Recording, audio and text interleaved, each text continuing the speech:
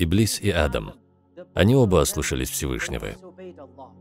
Но в их ослушании имеется отличие. Если говорить об Иблисе, он ослушался Всевышнего из чувства гордости, отказавшись совершить земной поклон Адаму. А что касается Адама, алейхиссалям, он ослушался из-за слабости, он поддался наущению. И посмотрите, что сделал каждый из них после акта ослушания. Какова была их реакция? Иблис не старался обрести прощение Всевышнего, а наоборот, в своем высокомерии он высказал обвинение Всевышнему. В Коране говорится, что когда Всевышний обратился к Иблису со словами «Почему ты не совершил земной поклон? В чем твоя проблема?»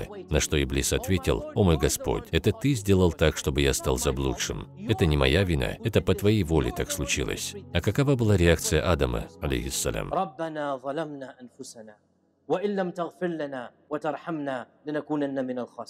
Посмотрите на два разных ответа в случае ослушания того и другого. Они оба ослушались. Иблис ослушался, но его ослушание привело его к куфру, к неблагодарности, к отрицанию.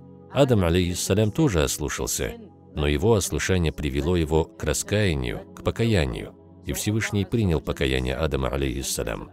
Почему? Потому что Адам попросил Всевышнего,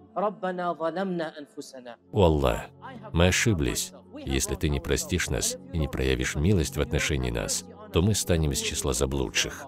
Иблис стал высокомерным. «Я не виноват, это твоя вина, это твоя воля. Вы и я, мы не ангелы, мы совершаем ошибки». Но что мы делаем после совершения греха? Мы хотим поступить как Адам или как Иблис? Мы следуем примеру пророка Адама, алейхиссалям, и просим прощения, о Всевышний, я ошибся, это моя вина, прости меня, пожалуйста. Но те, кто следует Иблису, они говорят, не так уж я и согрешил, это не моя вина. Грех высокомерия намного хуже греха страсти. Мы не говорим, что грех страсти является разрешенным, нет. Но ошибка Адама была продиктована желанием обрести какое-то удовольствие.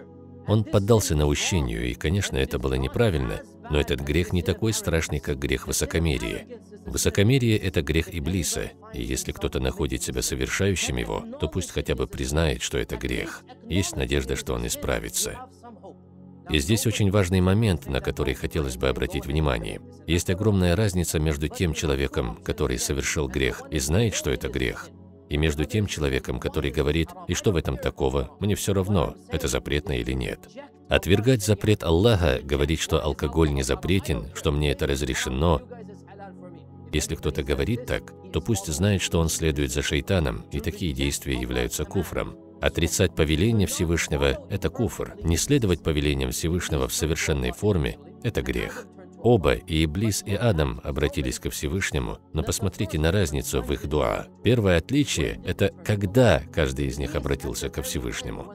Иблис в самом конце, когда уже не осталось никакой надежды. Адам, алейхиссалям, в самом начале, как только он осознал, что совершил ошибку, он сразу же обратился ко Всевышнему. Иблис продолжал спорить со Всевышним. «О Всевышний, я лучше него. Он создан из глины, а я из огня. Ты стал причиной того, что я сделал это». И так продолжалось, пока Всевышний не проклял его. «Мое проклятие на тебе до конца времен». И Иблис попал в ловушку, у него не осталось надежды. И что он делает?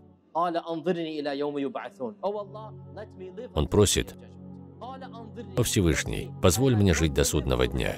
Из этого мы делаем вывод, что верующий никогда не откладывает обращение ко Всевышнему.